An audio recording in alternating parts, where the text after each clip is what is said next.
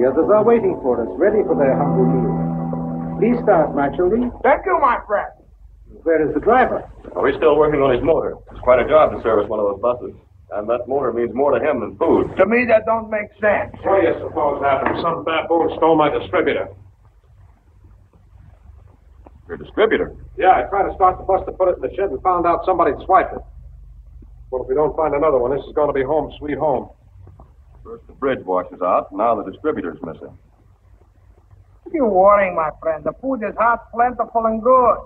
Say, what do we got for dessert, huh? We gotta get out of here. Don't worry, Peter's good mechanic. You'll fix up something. Sure, if you can find any time between meals.